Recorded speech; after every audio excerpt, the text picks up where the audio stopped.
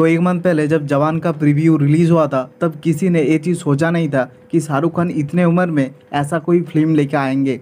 तो finally preview तो ख़त्म हो गया। मूवी रिलीज़ होने वाला है अगले मंथ के सात तारीख को।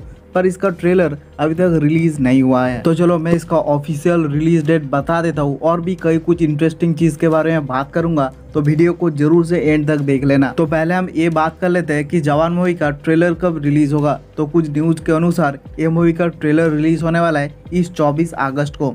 मतलब दो चार दिनों में ही इसका ट्रेलर हम लोग को देखने के लिए मिल सकता है। और आप लोगों ने देखा ही होगा कि कई बड़े बड़े मूवी या कई छोटे छोटे मूवी में भी ट्रेलर लॉन्च इवेंट होता है। पर जवान में ऐसा कुछ भी हम लोग को नहीं देखने को मिलेगा, क्योंकि शाहरुख खान ऐसा नहीं चाहते हैं। और आप लोग ये बात याद करो कि जब पठान मूवी रिलीज़ हुआ था, तब शाहरुख खान ने किसी भी जगह में प्रमोशन नहीं किया था। ना कपिल शर्मा शो में गए थे, ना कोई न्यूज़ चैनल में और ना कोई पॉपुलर यूट्यूब के इंटरव्यू में। फिर भी Pathaan movie super duper hit हो चुका है और ये मूवी ने हज़ार करोड़ के ऊपर बिज़नेस किया है। इसको ही बोलते हैं असली स्टार्डम तो इसके वजह से शाहरुख खान को बॉलीवुड का किंग बोला जाता है। तो जवान मूवी में भी शाहरुख खान कोई प्रमोशन नहीं करेंगे। ओनली ट्विटर में कैंपेन करेंगे आक्स एसर के करके। आपका कोई क्वेश्चन है तो आप जाके वहाँ पे पूछ सकते हो। आप अगर लकी होते हो तो आपका क्वेश्चन का आंसर मिल जाएगा। वैसे मेरा आप लोगों से एक सवाल है कि भाई आपको क्या लगता है कि जवान मूवी का कलेक्शन कितना होगा?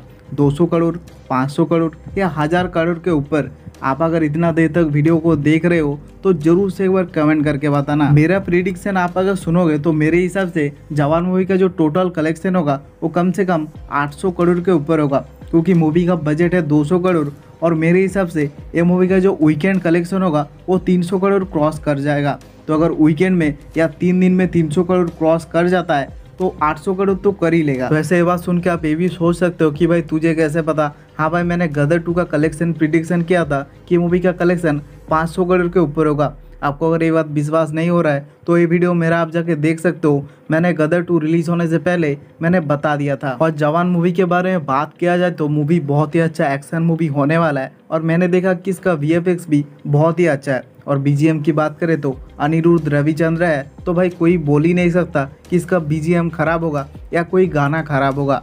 जितने भी अब तक गाने रिलीज़ हुआ है सभी सुपर हिट हुआ है। और आपको अगर अभी तक ये लग रहा है कि जवान का गाना खराब है तो भाई ईयरफोन में जाके गाना सुनना, आपको इसका लेवल पता चल जाएगा। तो चलो, ये वीडियो के लिए बस इतना ही। आपको अगर ये वीडियो अच्छा लगा तो एक लाइक कर देना। और वैसे आपका फेवरेट एक्टर कौन है, ज़रूर से एक बार कमेंट करके बताना। और आपको अगर ऐसा इंटरेस्टिंग वीडियो देखना है तो चैनल को सब्सक्राइब कर लेना और पास में जो बेल आइकन है, उस कॉल पे सेट कर लेना। क्योंकि इस चैनल पे आपको ऐसा इंटरेस्टिंग वीडियो रेगुलर देखने को मिलता है तो कल लेना फ्री में ही तो है। और आपने अगर इतना देर तक वीडियो को देखा है तो आपको दिल से थैंक यू तो चलो, ये वीडियो के लिए इतना ही। मैं आप लोगों से मिलता हूँ नेक्स्ट वीडियो में।